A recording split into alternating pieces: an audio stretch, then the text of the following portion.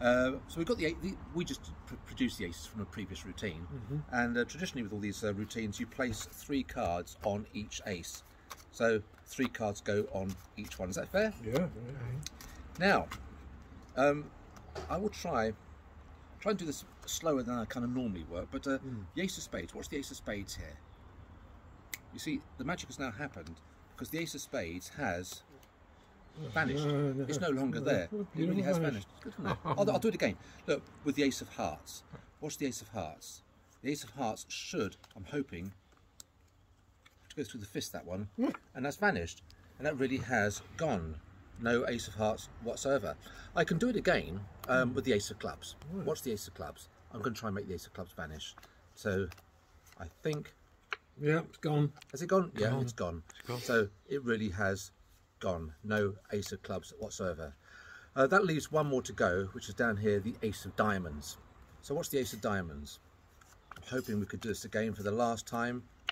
And look, the ace of diamonds has vanished. And it really has vanished. No ace of diamonds. So there's, all the aces have basically vanished. Vanish, yeah. But you see, if I'm a good magician, I should be able to try and make them reappear.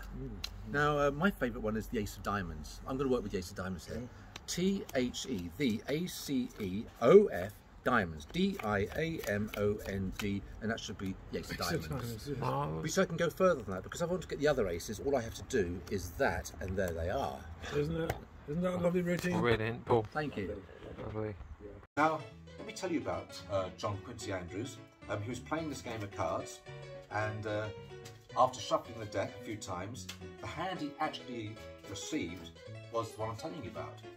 It was the famous hand, which is the King of Clubs, the Five of Hearts, the Ten of Clubs, the Jack of Diamonds, and the Ten of Hearts. And to be quite frank, that's not a great hand. Not a great hand at all. A King of Five, a Ten, a Jack, and a Ten. So, in the true parlance of the game, he removed one of his cards and he took one from the deck.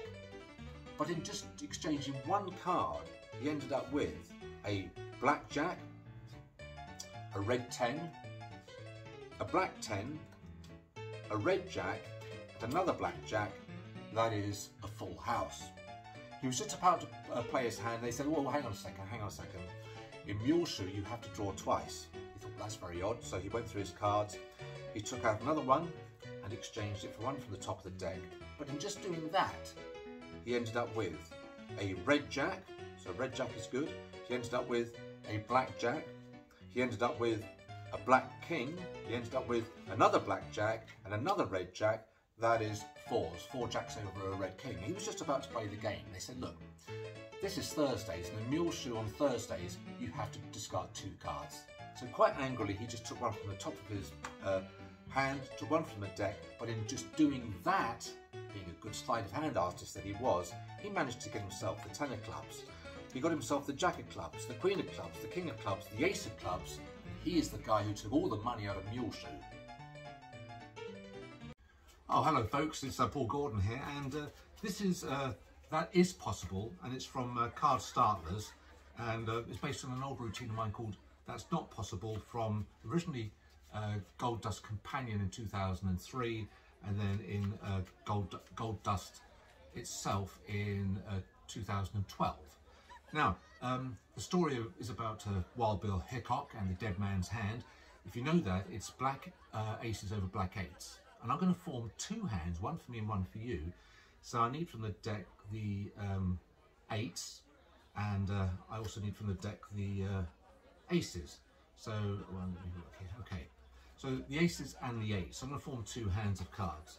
So, uh, like I just said, I've got uh, the eights and also the aces and I'm going to form two hands so yeah just four cards for this we don't need all five for this hand of poker so um, an eight for you an ace for you an eight for you and an ace for you and then the two aces and the two eights for me now there's a problem here and you might have noticed this because the dead man's hand should actually be black eights over a black aces over black eights, but I've got a, a red eight and a black eight, a red ace and a black eight.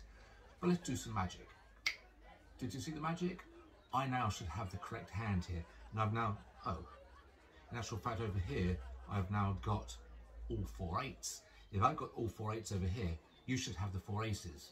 Well, you've got one ace, black ace, but you've actually managed to get yourself a royal flush in poker, and that beats everything. Hello folks, it's Paul Gordon here, and it's 52 years ago this summer that uh, the family and myself, we went to the Isle of Wight, uh, south coast of England, the Isle of Wight, to see the pop festival, the famous pop festival. And uh, in the fairground and the Fates and the side of the rock shows, there used to be these three card, four card Monty guys. And I used to go and watch these guys, they were really clever. And uh, one of them, he, he did, did this thing with four jacks, he had four playing cards, and I thought I could have a look. I was only very young, but do you want to see what happened? Let me show you, come down here. So he showed me um, the four jacks. He says this one here, the Jack of Hearts, second, second face, is the money card. That's the one to keep an eye on. He said, where is it? I said, well, that's easy, second from face. He said, look, if I turn the cards face down and reverse the order, where does that bring the Jack of Hearts? I said, well, second from top, obviously. He said, no, no, you're not watching son, it's actually on the bottom. He said, I'll do it again. Watch the Jack of Hearts. He said, I'll reverse the order. Where does that bring the Jack of Hearts? I said, to top. Well, he obviously wanted me to win because he showed me it was on top. He said, look, if I leave it on the table, do you, put, do you want to put money on it? I said, yes. And I did, and I lost because that was the Jack of Diamonds. The Jack of Hearts was over here. Look, he said, I'll put the Jack of Hearts on the bottom and I'll bury it into the centre. Where is it? And I said, well, I think second from bottom. He said, no, you've lost a game because the Jack of Hearts is on top. He said, do you want to put money on it? I said, yes, and I did, and I lost the game because that was the Jack of Clubs. The Jack of Hearts was over here. He said, look, I'll leave the Jack of Hearts face up in the packet, and it really was face up in the packet. He said, do you want to put it, money on it being face up in the packet? I said, yes, I did, and I lost because the one that was face up was the Jack of Spades. He said, so look, watch very closely. I've got four face down jacks, correct? I said, yes. He said, you're wrong. He said, the jack of hearts is face up, second from bottom. He said, and by the way, son, it should be easy to follow. I said, why is that? He said, because A, it's face up, B, it's the only one with an odd coloured back, and it's the only one with a bloody great hole in it as well.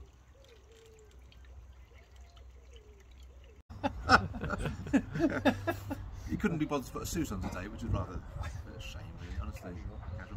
Um, now, I'm going to use uh, the four kings from the deck. The, the, four kings, in a very strange fashion, will represent cannibals. Oh, yeah. In the deepest parts of, uh, let's say, Africa, somewhere mm. like mm-hmm. that. And um, so they will represent, I want the camera to see that, so they represent the four, four cannibals, okay? Now, I'll leave them here for just a moment. Now, I'm going to ask you, from the deck, you can either choose three cards or we can just name any three cards. So just name any three spot cards. okay, eight of clubs. Eight of clubs. Um, six of hearts. Six of hearts. And the five of spades. Five of spades. Mm. And it, it, really doesn't matter which cards you choose, but uh, there we are. Now, uh, the these cards represent missionaries. Oh yeah, missionaries. And the missionaries go into the jungle. And these are the cannibals. They're the cannibals. Oh, yeah. The missionaries go into the jungle and they get caught by the cannibals which is a rather painful experience in itself. I can imagine. Have you ever been caught by the cannibals? Not lately. Not lately. when I was younger. Yeah, it does itch, yes. doesn't it? So don't forget, um, I've got the um, the four cannibals, cannibals here, yeah. and then the four missionaries here. Now, watch what happens. The first missionary gets caught by the cannibals mm -hmm. and gets eaten, oh. and she has gone. Very nice. Okay, let's do it again. The second missionary gets caught by the cannibals, takes a second, she too gets eaten, mm. gone, and the same with the third one. The third missionary gets eaten by the cannibals. Nice. That's magical, isn't it? Yeah, but does, um, or do they get eaten, or do they just make their escape?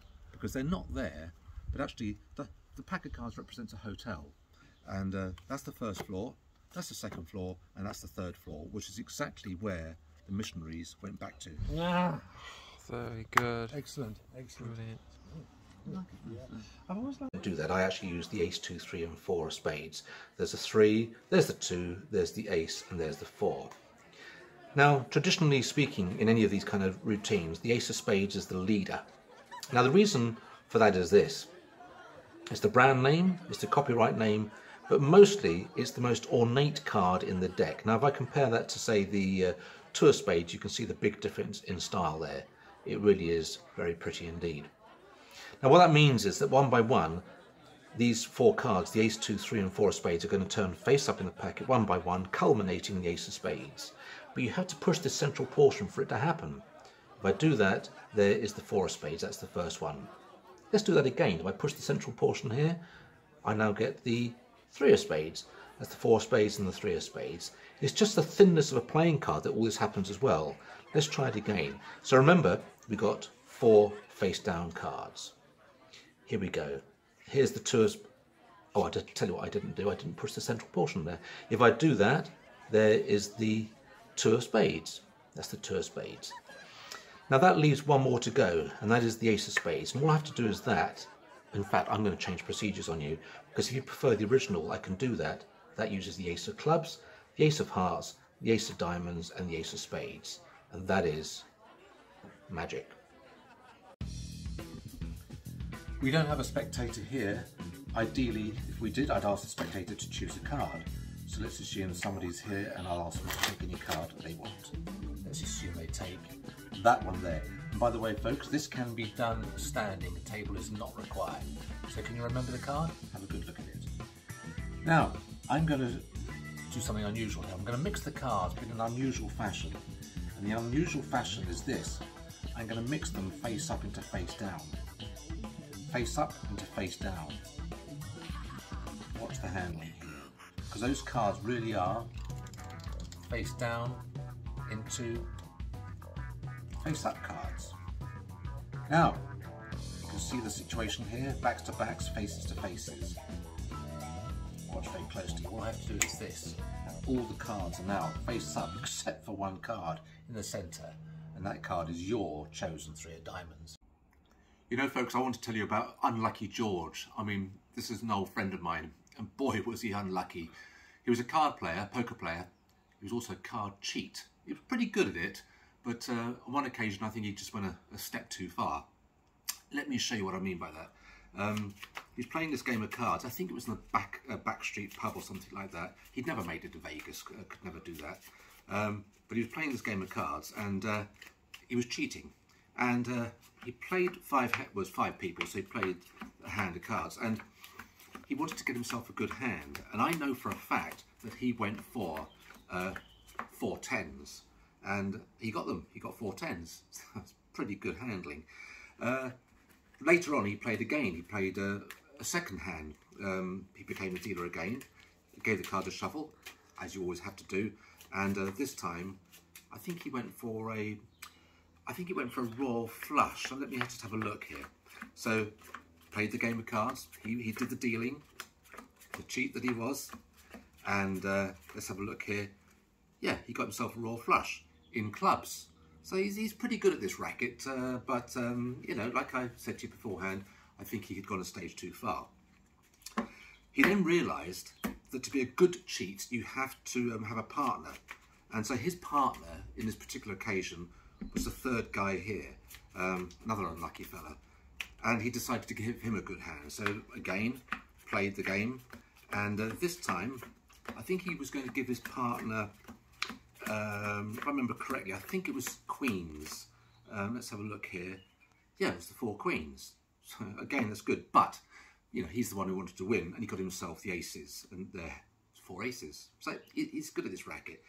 Um, again, later on, it came to the last deal, and it was him again. It was his his his turn to uh, do the deal.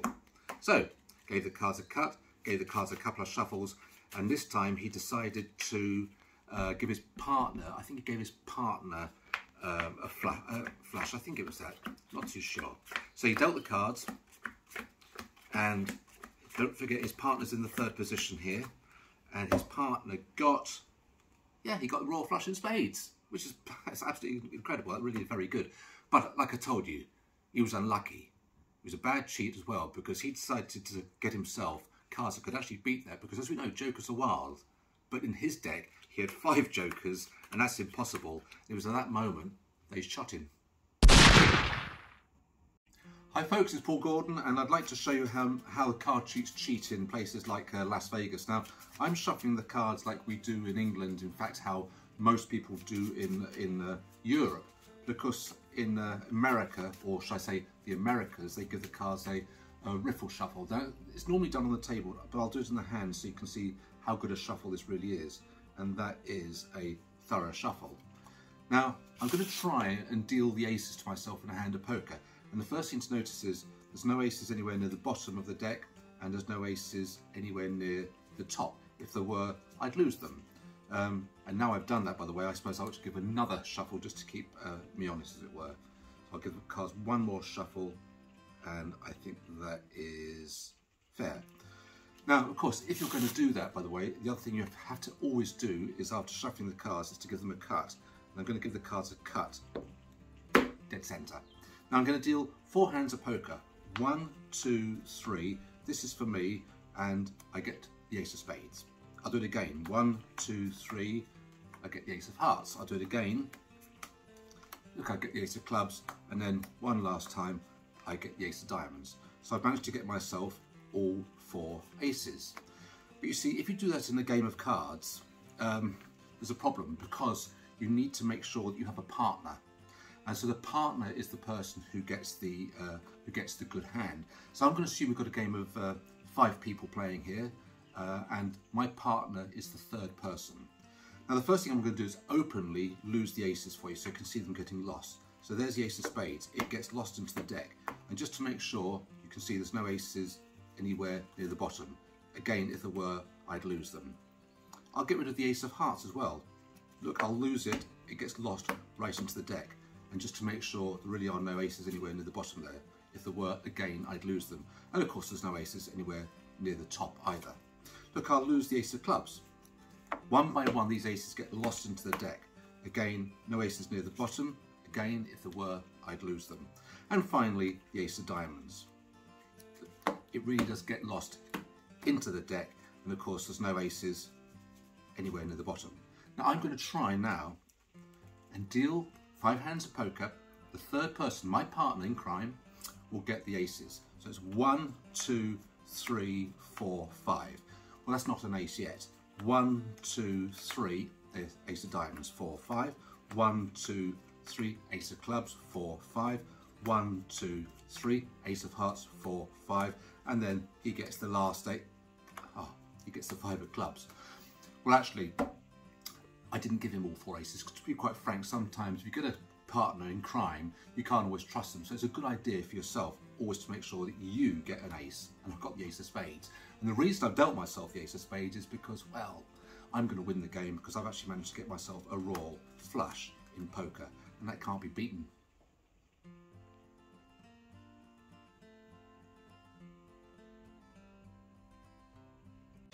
Anyway, enough of this ribald banter.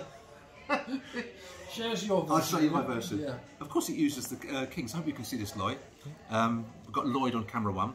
Uh, the four kings: king clubs, hearts, spades, and diamonds. Now, the kings are going to turn face down in the packet. Now, the first one has already turned face down. You probably didn't see it, but there it is. Look at that. Now, to get the second one to turn face down, that's easy. Do you see that? that was supposed to be a gag, but nobody ever laughs at that. But in actual fact, they've all suddenly turned face down. But I can get them to turn face up, one by one. If I do that, there is the King of Clubs. That's the first one.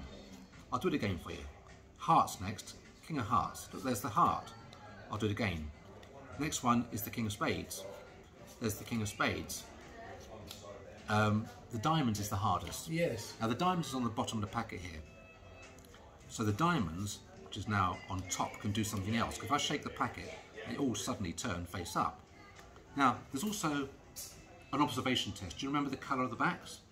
What were they, Lloyd? They were blue. Blue, I thought so. Well, you're not watching, are you? Because they're actually red. There's one, two, three, four. If you prefer green, like the colour of your mat, I can do green as well. And that is a fooler. Oh, that's excellent. That's brilliant.